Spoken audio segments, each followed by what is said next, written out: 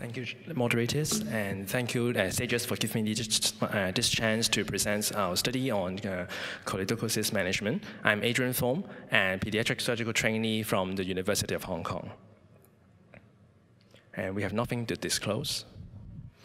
So uh, was first reported in 1817 and it was uh, uh, reported to be a uh, congenital dilatation of the biliary ducts, which involved both the intrahepatic and also the extrahepatic ducts. The incidence of the choledochal cyst is around 50. Sorry? Oh, okay. So the incidence of the choledochal cyst was around 15,000 live births, and uh, the incidence is particularly high in Asian, which it can be as high as 1 in 1,000. And uh, the etiology of uh, choledochal cyst was remain unclear, and, uh, and uh, the, it was uh, postulated that anomalous pancreatic biliary junction may be uh, one of the pathogenesis of the disease. because of the reflux of the pancreatic juice into the biliary ducts, it leads to the subsequent weakening and also the cystic dilatation of the ducts.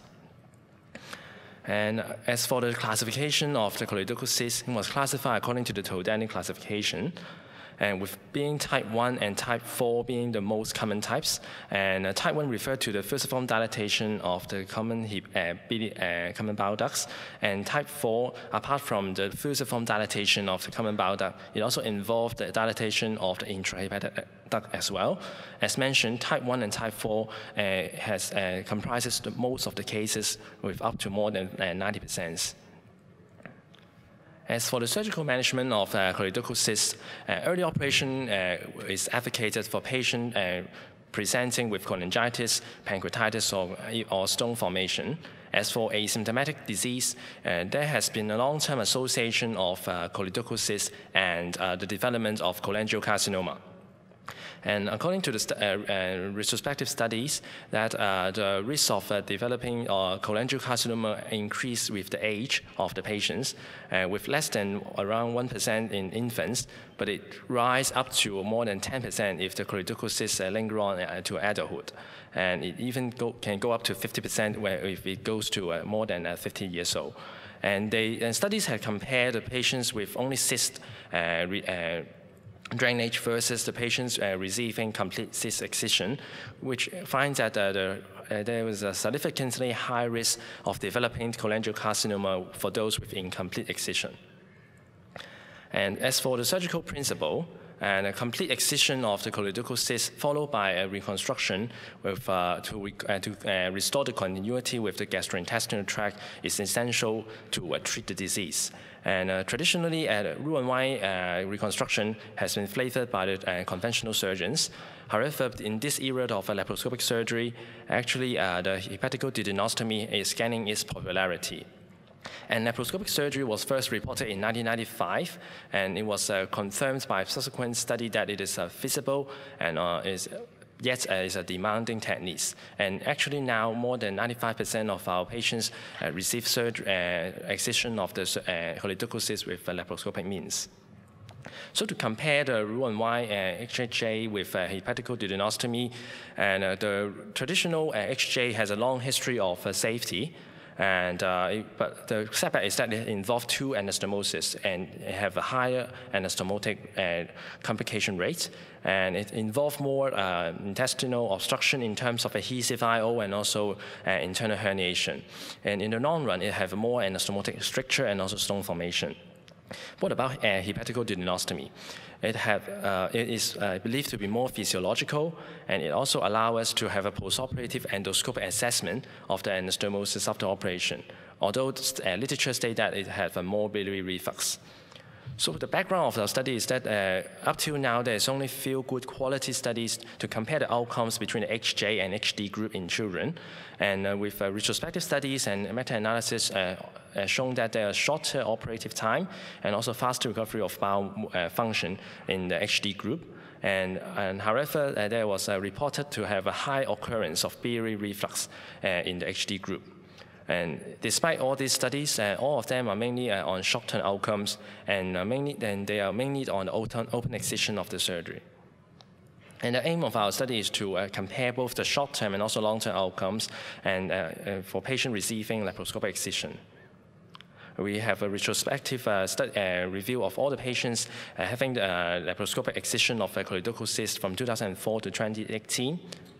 And uh, all the, altogether, around 54 patients was identified in our database. However, we exclude 12 of them uh, and before 2010 because of we want to eliminate the effects of a learning curve.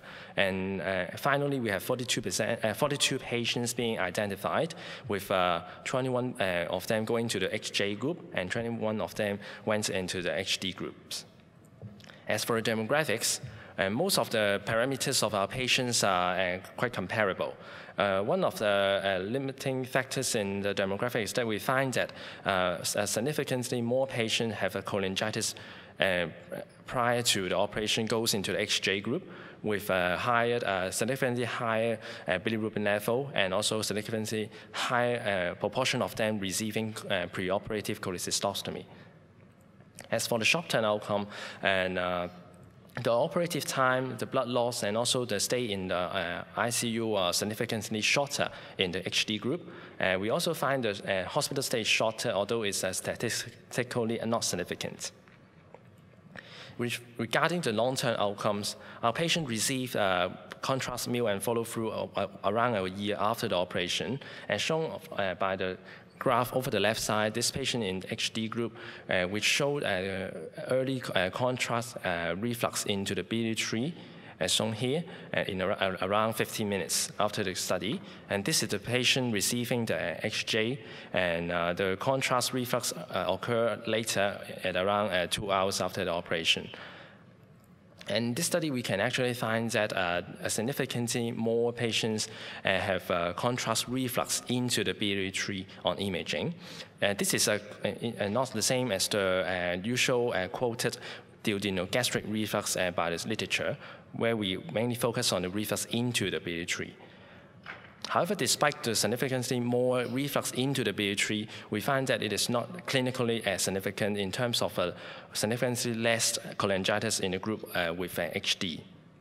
And also, we, they do not have any uh, significant symptoms, uh, clinical symptoms by the reflux in terms of recurrent abdominal pain. And the long-term outcome in terms of anastomotic stricture is also comparable. So, and to conclude, uh, we want to uh, bring out your attention to that the laparoscopic excision of choledochal cysts with uh, construction is safe and feasible.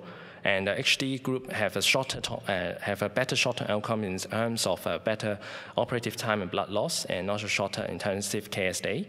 The long-term outcomes are comparable in terms of uh, uh, uh, in terms of less um, less cholangitis and as mentioned, the HD group have uh, proportionally more reflux uh, radiologically, but they are found to be, uh, uh have a better clinical outcome in terms of less cholangitis.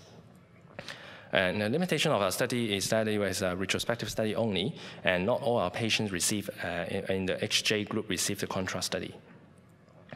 To conclude, I would like to draw your attention that uh, HD is an effective alternative to the conventional Roux-en-Y and, and, technique in reconstructing after the laparoscopic excision of uh, cysts in children. Thank you.